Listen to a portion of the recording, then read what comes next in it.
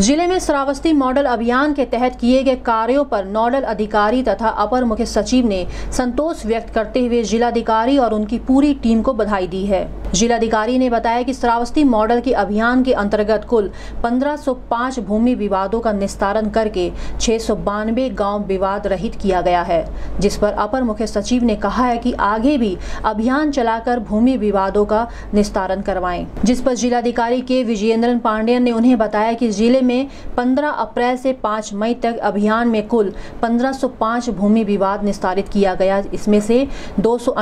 निजी एवं बारह